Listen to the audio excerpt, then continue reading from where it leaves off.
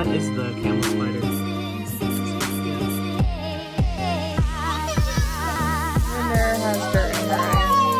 Come here. Come on. Are you two now?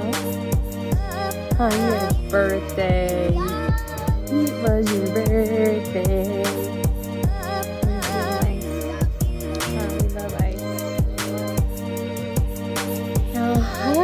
A lot of that is dirt. Although not as dirty as Render. And not as dirty as you.